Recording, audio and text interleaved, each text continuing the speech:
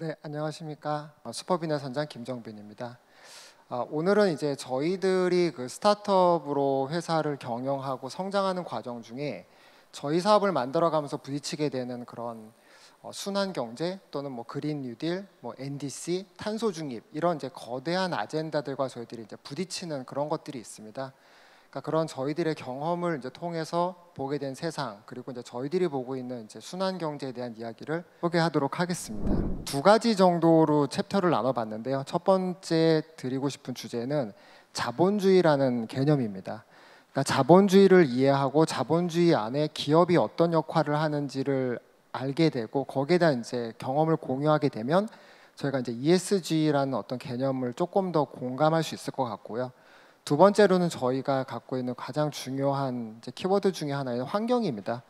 그러니까 환경이라는 것이 과거에는 수질, 토양 또는 대기, 폐기물 이런 부분에서 한정돼서 쓰였지만 지금은 저희 시대가 갖고 있는 문화적인 요소가 되고 있고 사회의 많은 기능들이 융합되고 있는 중요한 새로운 개념이기도 합니다. 그래서 그런 환경을 이해하려면 이제 저희가 도시를 이야기하지 않으면 환경의 이야기를 하는데 매우 제한적입니다. 그래서 이제 도시에 대한 이야기를 조금 드려서 환경에 대한 이야기를 하고 그러고 나면 이제 슈퍼빈이 도시 안에서 인공지능과 로봇 기술을 이용해서 혁신을 이제 제안하고 있는지를 말씀드리도록 하겠습니다. 저희는 자본주의 시대를 살고 있죠. 가지고 있는 많은 제도나 교육 또는 이제 사회적인 인프라는 기본적으로 자본주의라는 사회 시스템 위에서 이제 형성이 되어지고 있습니다. 근데 이런 이제 자본주의가 균열이 생기기 시작했습니다. 많은 부분에서 균열이 발생되기 시작했고 많은 사회학자들이나 자본가들은 이거를 수정하거나 또는 이런 부분을 보완하려고 이제 노력을 하는 과정 중에 이제 ESG라는 개념이 나오게 되는데요.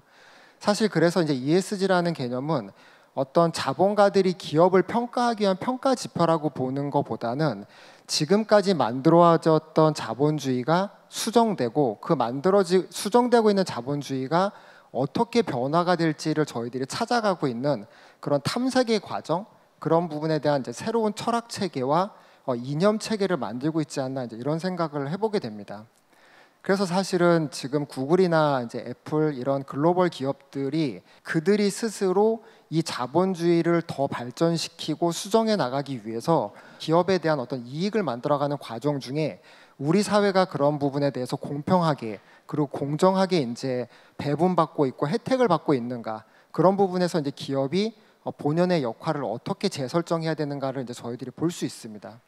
두 번째는 이제 저희가 환경이라는 이야기를 좀 해야 되는데요. 사실은 환경은 더 이상 미세먼지나 그 해양 오염이나 또는 토양의 오염을 의미하지 않습니다.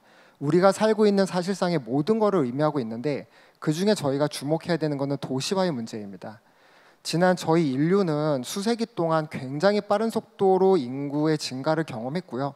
지구 생태계가 감당하기 매우 힘든 수준까지 이제 올라왔다는 평가가 많습니다.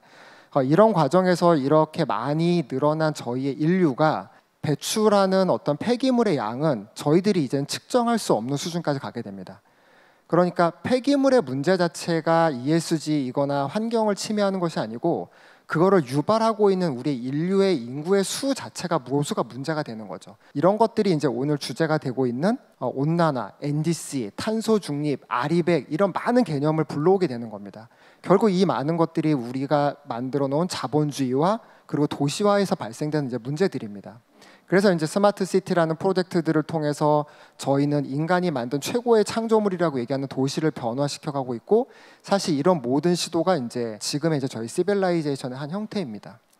이제 기업들 입장에서 보면 어떤 기회와 어떤 변화가 오는지를 한번 경험을 통해서 좀 말씀을 드리면 우선은 이제 선형 경제와 순환 경제라는 새로운 개념을 저희가 받아들일 때가 됐습니다. 그린 뉴딜을 포함해서 전 세계 글로벌 리더십들이 지향하고 있는 거는 저희 인류가 한 번도 만들어 본 적이 없는 순환 경제, circular economy 제도입니다. 화석 연료를 피해서 또 다른 신재생 에너지를 가고 싶어 하는 이유는 화석 연료는 전형적인 선형 경제 에너지를 가지고 있고요.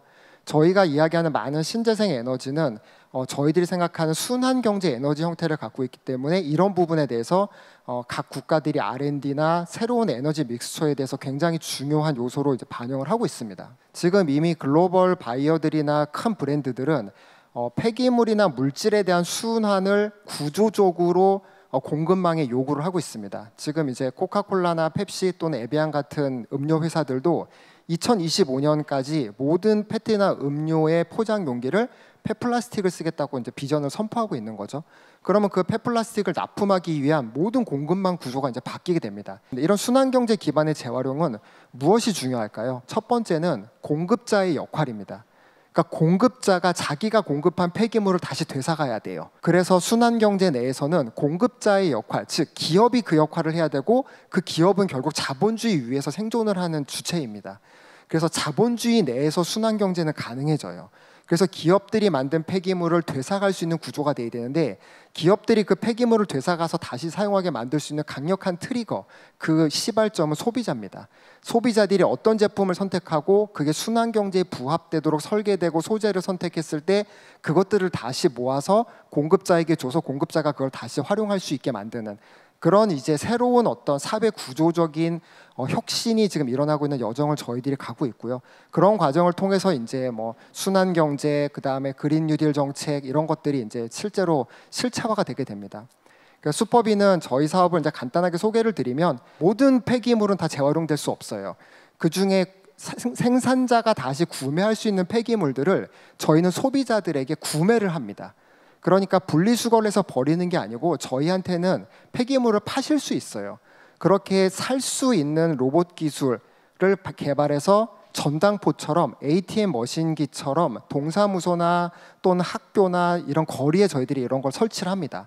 그런 기계가 지금 전국에 한 500여 대가 이제 설치돼서 이제 작동이 되고 있고 두 번째로는 그런 게 단순히 페트병이나 알루미늄 캔이나 철캔을 넘어서서 다양한 종류의 생활 폐기물들에 대한 어, 기업들의 수요처를 연결하는 것까지 저희가 설계에 들어가고 있습니다.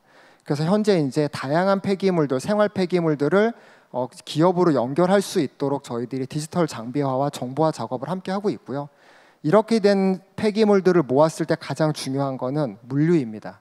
그래서 저희는 현재 지자체들의 도움을 받아서 전국에 16개의 이제 순환 자원을 모으는 창고를 운영하고 있고 이 창고는 생각보다 깨끗하고 청결합니다.